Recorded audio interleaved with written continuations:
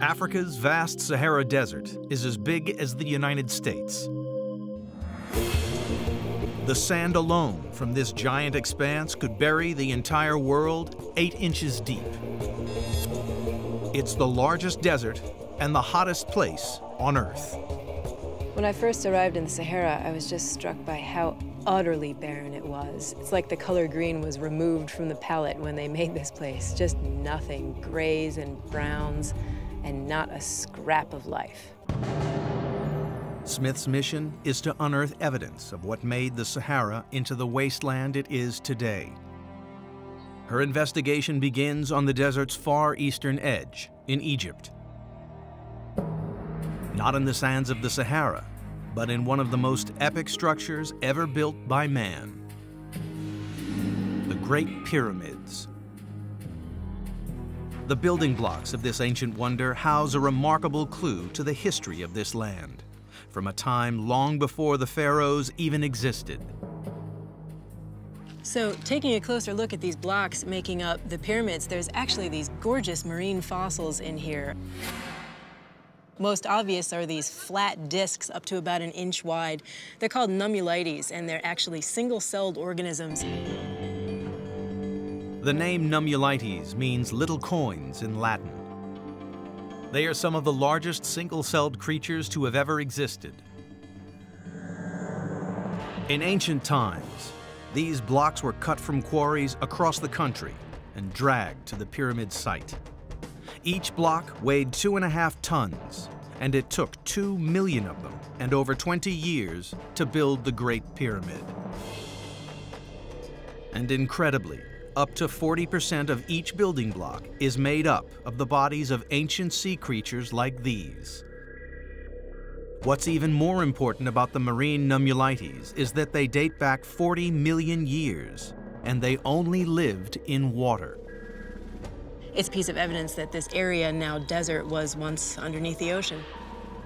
You think about the construction of the pyramid, but not necessarily about what it's made of in these gorgeous fossils.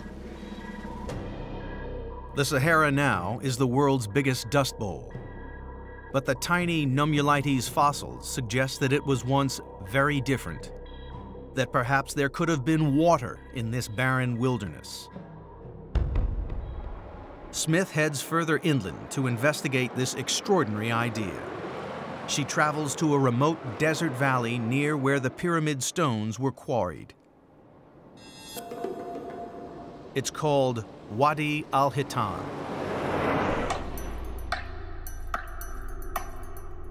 Spread out in the sand lie hundreds of fossils, first excavated in 1983. But these are nothing like the tiny nummulites that's a whale.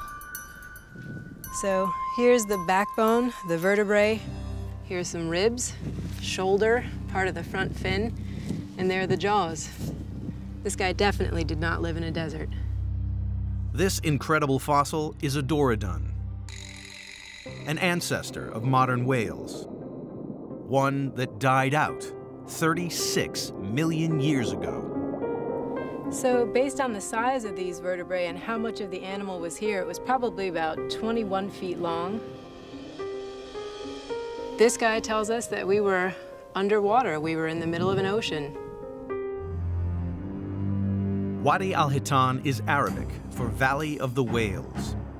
This 12-mile dip in the landscape has the highest concentration of fossils in the world. Some were found in the desert floor, others in the cliff walls. The count so far is 400. Almost all are marine animals. Further evidence that the Sahara was once covered by sea. So here we've got the fossil of a baby whale. You can see the lower jaw down here with some teeth, and the shoulder, the backbone, some ribs, and all curled around. Actually, the tail comes right back to near the head. As if finding whales in the desert wasn't intriguing enough, there's yet another mystery to be solved. A lot of the fossils are of very young Dorudons, like this one. A delicate mesh of stone helps explain why so many baby whales died in this place. Wow, so finding that whale fossil told us we were in the ocean. These rocks actually tell us a lot more about what type of ocean we were dealing with. These are all fossilized mangrove roots. These roots would have been below water. The mangrove trees would have risen above it. Since trees don't grow out of the deep ocean, we know that this area was actually under shallow ocean at the time these rocks were deposited. Something probably that looked like the Florida Everglades, where there are mangroves growing now. Smith has discovered the shoreline of the ancient sea. The shallowness of the water could explain why there were so many young animals here. So one idea, there's a bunch of these baby whale fossils found in this area, and this would have been a shallow protected bay that maybe the whales came just to birth their young. It is absolutely incredible to see a fossilized whale in a place that right now gets less than a millimeter of rainfall a year. It's uh, as much convincing evidence for geologic change as I can imagine.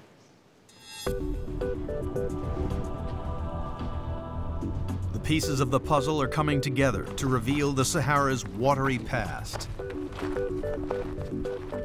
So 40 million years ago, this desert would have been covered in the middle of this valley by a shallow bay, probably a brilliant tropical blue-green color.